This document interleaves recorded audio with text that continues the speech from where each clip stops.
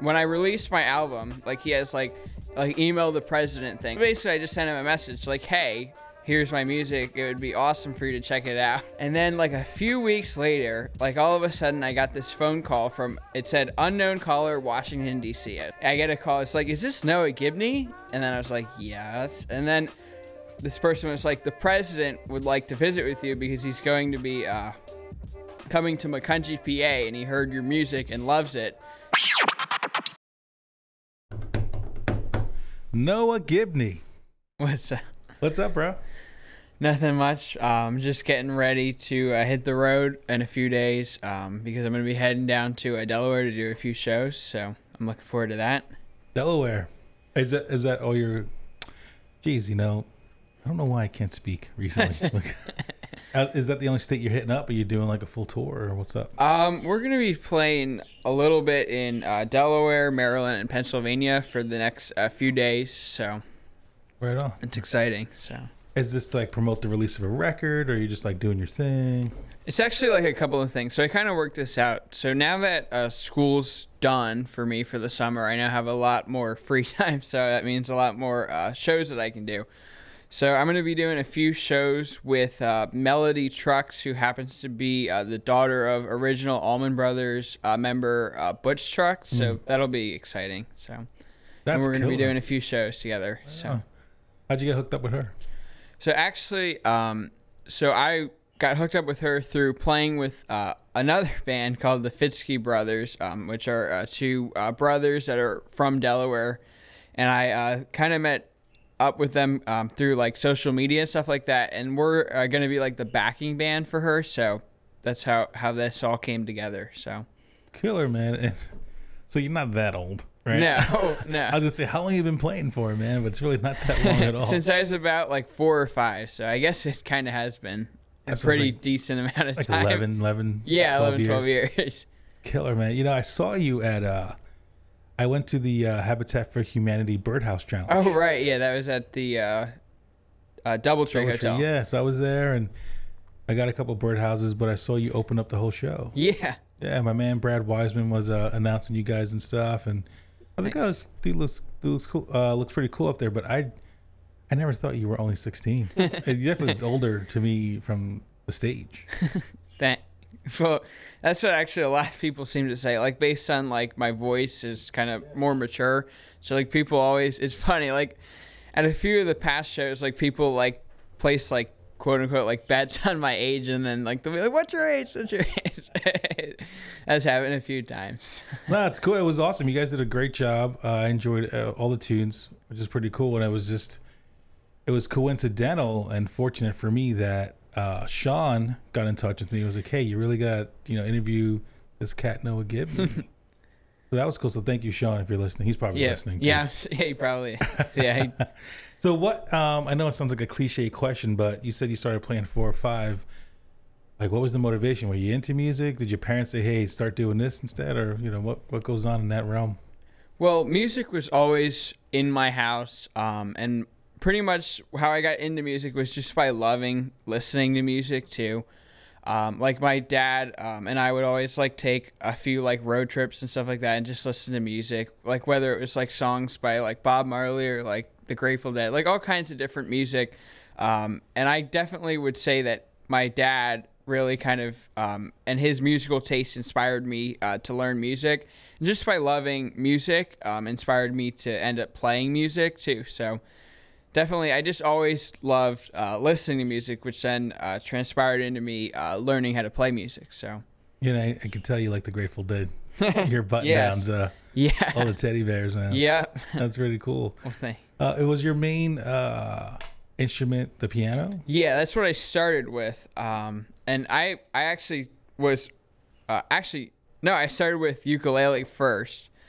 Um, when I was about like four or five, and then later, um, someone suggested that it would be a good idea for me to learn piano because piano is kind of like the fundamentals of like music theory is all on the piano. So like after that, that's when kind of with learning the piano, that's when I like really, really was interested in music and uh, trying to make that into a career. So Right on, man. Um, when did you realize um, you were good enough? I guess if you want to call it to start doing doing this for a career? Like this is your future goal. So when you've realized, all right, I'm gonna get to school probably, and then go hardcore on this. That's an interesting question. So I'd say like I always was like into it, like it, but when I I really felt like I was getting somewhere was kind of when I was about like 11 or 12 was when I was like really realizing that like from like a realistic point that this was a career that I wanted to have. Um, and just by like getting compliments from like better musicians and stuff like that, that's when I was like really um, like, wow, I can do this as an actual career. So. What were some of the uh, more influential names maybe that gave you those compliments? Well, I'd say um, like some of the local musicians. I'm trying to think of specifically, but um, and it's actually like interesting. Like a lot of the people that seem interested in playing with me now are in my band. Like two names um, would be Chris Kerr and uh, Matt Cullen, who uh, started pl- playing with me um, around three years ago, and uh, we started my first uh, band, the Noah Gibney Trio. So I'd say like that's when I had a band. I'd say like my own band. That's when I was like, wow, I'm really getting somewhere. So yeah, that's when it all really kind of started taking off. Like even like another level. Like when I was like that's when it was like becoming a real career. Like not just like some kid uh, playing mus- music, but as sorts of just like someone who's trying to make a career out of it. So that's kind of where that like next level took place. Right on. And the dudes in your band are they your age? Are they older? No, they're older, like older musicians. How yeah. old are those guys? I think probably like in their 40s and 50s. now. Really? But yeah, like I actually like that though cuz they're very very much experienced. Like they like they were very much able to help guide me if you know like based on their past experiences. So they definitely have given me a lot lot of great advice. So Right on. So you got almost like uh, a couple dads, let's say, on the yeah, road. like mentors, yeah. um, so what are you into, man? Like I know you brought up the Grateful Dead, you brought up Bob Marley, uh, but like you know, I was in a band, you know, when I was a younger Oh, nice. kid. Yeah, and but I was like inspired by Metallica, Pantera, like heavier music. nice. What inspires you, man? Like what makes you want to like you know sit in front of that uh, piano and just start writing? Um, I'd say like for me, are you saying like what like inspired me to play or Well, yeah, no, it sounds like a bad question because I was like, what bands do you listen to, but what inspires you to play? So I guess let's go two for like, what bands do you listen to? What bands do you really dig?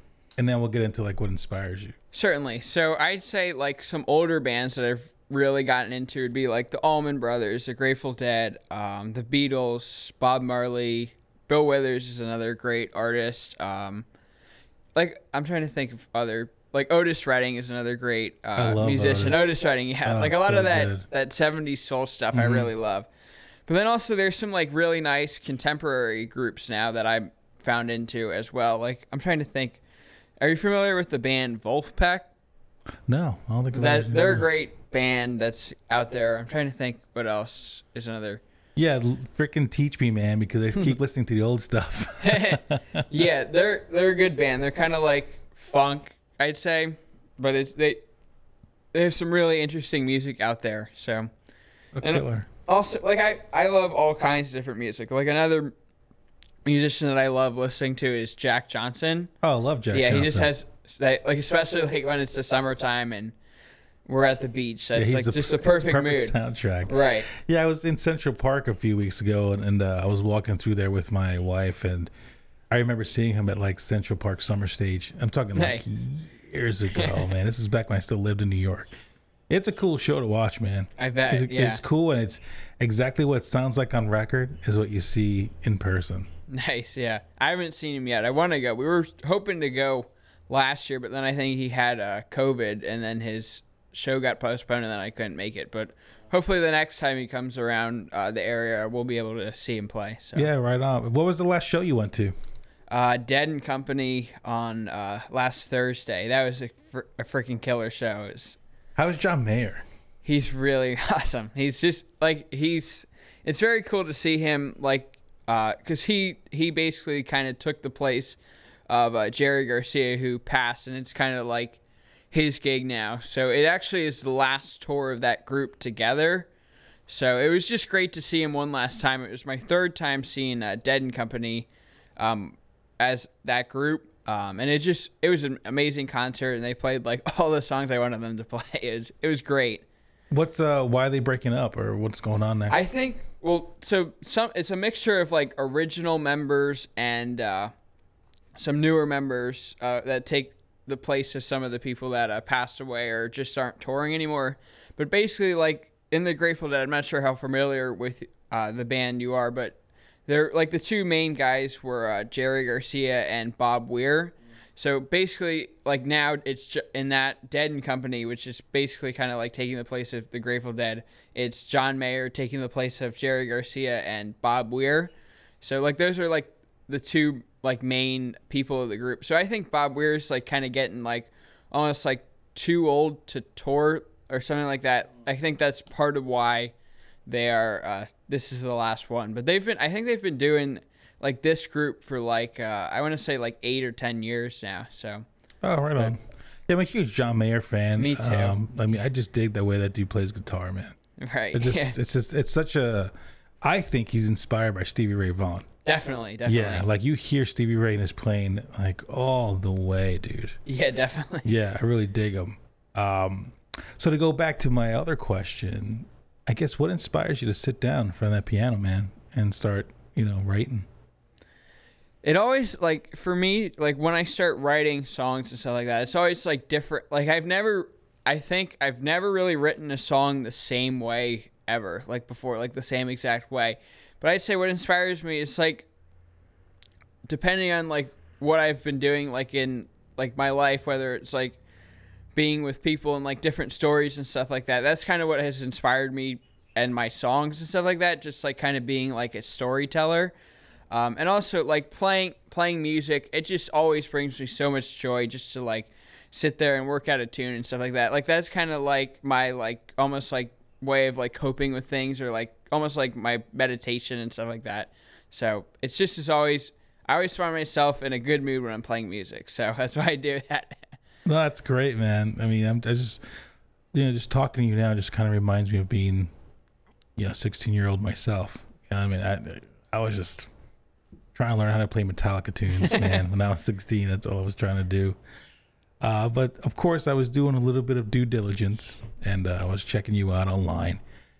And you got hooked up with G Love. yes. So how in the heck did that happen? So this was actually uh, a few years ago during the pandemic, and G Love was supposed to be in tour um, in Japan, but then he got sent back home because of COVID. So then he was kind of in more of like a creative mode and like looking to collaborate with some people. So I just hit him up in uh, Instagram uh, DMs and was just like, "Hey man, it would be great to collaborate on some stuff." Um, and I just I wasn't like thinking to hear back from him, but then like literally like a few like hours after I saw and he was like, "Man, that would be awesome." And then we started writing some songs uh, over uh, Zoom, and that's kind of how we uh, did the the songwriting. And actually, like my first lesson was on my 13th birthday with him, where we were writing songs together, and then we ended up writing like 15 songs together over the pandemic. So it was it was so much fun, and it, he just is such a nice like down to earth guy to uh, be able to work with, and it just was overall a great learning experience about like writing and working with other uh, professional musicians. So so he just answered your DM. yep, And you were, and he was like, "Yeah, let's write let's some tunes together." yeah, it was, it was amazing. It was That It- is killer, man. Because you you ex- you know you expect these uh, musicians and celebrities to just not even be the ones that are even answering their DMs. right. Yeah, You know they have like yeah. assistants or whatever. Um, what? So what came about? Like, did you guys write a record or? Yeah, so basically, we kind of wrote two records together. So we did one for, that I released called the Serendipity Sessions, um, which was my debut EP, which I released, I want to say like a year and a half ago now. So, um, and then also we wrote a few like Christmas tunes for his Christmas record. So that was really nice for him to record songs that we wrote together. Um, and I actually got to play piano on uh, the record too. So that was really, really nice to uh, be able to play with or play on his record. So Wow, where'd you record? Uh, where'd you get to record those tunes at? So I actually have a, uh home studio at my house. So like now with all the technology and stuff like that, like you can just like, so he sent me some tracks and then I just uh, recorded it at my home studio and then like sent it back to his uh, producer. So it's it's crazy that you can do that kind of stuff now. Like you don't even have to leave your house. I know you to don't. collaborate. Man. You don't. And I, oh, I'm so jealous of that too, man. Because when when I was a kid, you know, you had to go to a studio, Right. or you had like four tracks with a cassette in it. Yeah. Now it's the computers, man. You could just do anything from around the world. Yep. Yeah. Now they even have like Logic Pro on like your iPad now. Like you can like Yes. literally just like everything's at your fingertips now. Yeah, wasn't there like uh was the Gorillaz? Didn't they record a whole record on like an iPhone or an iPad or something? I think that might have been. I I'm not too familiar with them, but I know Steve Lacy did that. He's a a new like contemporary artist who recorded like a whole album on his iPhone. Like that stuff just like fascinates me. Like that you can do that. Like you don't need this like massive like uh recording studio with all these different like buttons and stuff like that. You can just all do it on your phone, iPad, or computer. I know it's it's it's come a long way so quickly Yeah. too. Yeah. Because you know, I'm only 44, so I mean, I was in a band just 20 years ago. So in 20 years, you went from cassettes to just a freaking screen. yeah, where you just know. tap stuff and can just plug and play. It is insane, man. Uh, insane. So, um, are you? Do you ever plan on playing live with G Love or like is anything like that? We actually have before. Oh, you have. So I was actually able to sit in with him last year when he played at the TLA in Philly. So that was that was an amazing experience. Like I had a feeling that he would. So we he was able to give us tickets, and I had a feeling like he might um, decide to like want me to play. So we decided to like bring my keyboard. And it, I like all of a sudden I got like a text like, "Hey, do you want to play a few songs?" And then it's funny because then my dad was just like sprinting back to the car with like a uh, keyboard case, and then it looked like almost like he was like carrying like a dead body in, Yeah. in the back, just sprinting down South Street. But it, it was an amazing experience to play with him because it like after when I got to see him last year, it's been like it was some time before I got to see him before, so definitely my playing has improved since the last time. So it, was just it was great to be able to play with him in front of his audience. So. How do you um? How much do you feel you've improved from like 13 till even just today? so much. I'd say I even improved a lot in the last year. So basically, like I've just been keep, keeping on working and working and working, and definitely I felt like some improvements and just like finding my weaknesses and strengths and just making them better. Um, and I've always had like the growth mindset kind of thing, like just to be better than the person you were yesterday. So I've just like kept on doing that, and that's where I found the most growth. And I definitely, it definitely shows. Like it's just, it's always funny looking at like old videos of like little Noah. It's just, Because you're so big now. yeah. like just the other day, there was like a Father's Day thing I did at the uh, Reading Phillies Stadium like five years ago. It's like, oh my gosh, how did anyone ever listen to that? Five years ago, I see you were 11. Yeah. See, that's insane. Like that's so awesome to see uh, young musicians. You know, I was watching this TikTok the other day. This kid was like 11, and he was doing the solo for like an Avenged Sevenfold song. Wow. And I was like, I can't even do that now. And this dude's 11. I sent it to my buddy, and he texted me back. He just wrote, "I quit." You know, it's insane. I feel like yeah. I feel like kids. Uh, I don't know. I just feel like they're just more advanced these days. It's not like when you were like when I was 11. You know, like the kids are just I don't know evolution something. Well, I think part of it too is this whole social media thing that like people didn't have like I don't know like 20 25 years ago is that like now like to see like like there's so much more information you can get online. Like you can literally just like scroll through YouTube and just like learn a bunch of stuff. Like it's just like things are things now are like you can literally learn anything on YouTube right now. Like it's just it's crazy and I think that's part of why there's so much more people um, like desired to like learn their crafts and stuff like that. So Yeah, there's no reason why you can't literally learn anything. right, Like you just got to go on your computer or your phone, go to YouTube, type in whatever it is, and it's right in front of you. yep, Yep, I love it. me Um, too. So I got one more thing. you met the president. I did. How did that happen? It's a crazy story. Yeah, because I want to hear it. So, um, this was like about a year ago um, when I was able to meet him. So, when I released my album, I don't even know why I did this, but I decided to send uh, to his website like he has like like email the president thing. Like I'm sure he probably gets a bunch of emails, but basically I just sent him a message like, "Hey, here's my music. It would be awesome for you to check it out. like I don't even know why I did this, but I did. And then like a few weeks later, like all of a sudden I got this phone call from it said unknown caller Washington DC. I was like it's you know how those spam calls you just don't answer them. I was like, "You know what? I might just take this one because why not?" And then I get a call. It's like, "Is this Noah Gibney?" And then I was like, "Yes." And then this person was like, "The president would like to visit with you because he's going to be uh, coming to Macungie, PA, and he heard your music and loves it and would love to visit with you."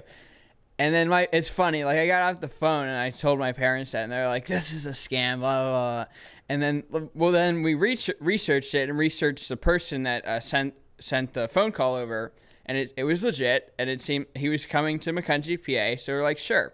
Well, because the reason why my parents were like scared about it was because like they asked for like your like a bunch of like information like social security. Of course. They needed to do that because they have to make sure that you're like not like a crazy person that would be a threat, to the president. But basically, so we did that, and then we decided to go. It was like a Wednesday in I want to say like July when this happened, and it was just nuts. Like it was it was funny because like when we got there, like the Secret Service like like it, they're everywhere, everywhere. They're like in the trees. It's like everywhere. Like everywhere you look, there's Secret Service.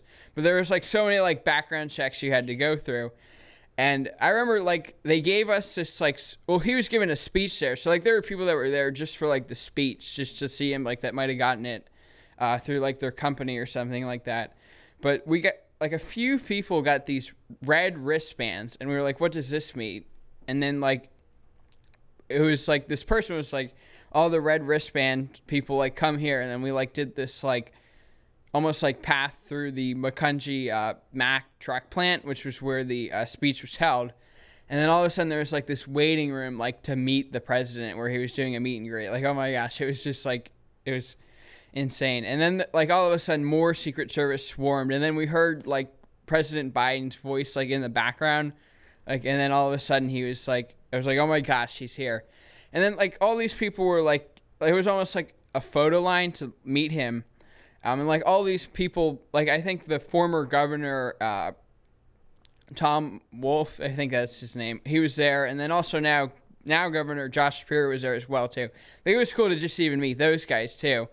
Um, and then all of a sudden, like we were able to meet the president. He was just like again, he was like just like a down to earth guy, and he was just like a great guy to just like have a conversation to. Like I was like, oh my gosh, I'm meeting the president. Like he just was like an average, average guy that happened to be president, and it was just, but it was just amazing, and it was cool him telling stories too. Like I didn't know this, but his father was a mus- a saxophone player too. Like he was like telling me all these stories about like him like practicing saxophone. It was just it was great to have a conversation with him, and it it was certainly a great experience too. So, and also like this last part too. Like I was I handed him my CD, um, to like for maybe for him to sign it, and I was thinking like I don't know if they're gonna let this happen because they have to like make sure that it's not like take precautions. Right. Like it seems to be like a theme of the thing, but and then so I handed him one of my CDs signed, and then eventually, so we were heading back to uh, see the speech, and then all of a sudden these people were shouting, "Noah!" No! Like I was like, did I do something wrong? Like I was like getting all red in the face, and then there was the CD that he signed, and it says, "Remember me when you hit the charts." it was just a, it was amazing experience. Um, and certainly a once in a lifetime experience that I'll never forget. So Yeah, I would say so, man. That's killer. So, what are your goals, man? What are your plans? What is what does Noah want to achieve? Well, I definitely want to make a career out of music. Um, and I think what I'd like to do is uh, go to the Berklee College of Music. And then that's kind of where what I'd like to do is uh, like figure out what field I want to be in, whether it would be like a performing artist or producer, songwriter. And I think that's what college will be good for me is to explore what like professional career that I want to be in. So Awesome, man. How- Um, so Berklee. So that means you'll be going there in about what two years? yeah, about two years. Yep. Two years, and uh, one of my favorite bands of all time. I think formed their Dream Theater. Huh, yeah, I've heard of those guys. Yeah, Prog. It was like a. They're from Long Island, but I think they all went to Berklee. Yeah, And that's those guys got are killer oh, musicians Jesus. I Their mean- musicianship is amazing. I love them. I love that's awesome. Um, what's you know, I want to start getting like uh, because I'm a kid when it comes to music, you know, and I like having these these cool music conversations. Who's your favorite artist? It's an intriguing question. Um, I'd say probably Bill Withers. Bill Withers. That's the one to go with. I just love his sound. Like it's just like the like whether it's a song like Ain't No Sunshine or Lovely Day. Like he just has such good songs. Like it's just My wife loves Bill Withers. he's again like he's just he has that like chill like soul vibe that like you just can relax to. Like he's just he just seems like another like I seem like all the musicians that I seem to like are just like seem like down to earth people. Like he just seems like he's just a chill guy that happens. I think that like he learned he had a pretty late career. Like he didn't start like playing guitar until his 30s and then he just happened to hit. So I mean, that's the beauty about music, man. I mean, it doesn't matter how old you are, how young you are. I mean, it's like that universal language that everybody just gets into. yeah, and you can just do it for the rest of your life too. Like that's one of the one of the only professions that you can just enjoy for the rest of your life. Absolutely, man. Listen, Noah, it was a pleasure having you in here, man. You know, I enjoyed watching you play for us at the uh, Birdhouse Challenge. I wish you the best of luck on tour.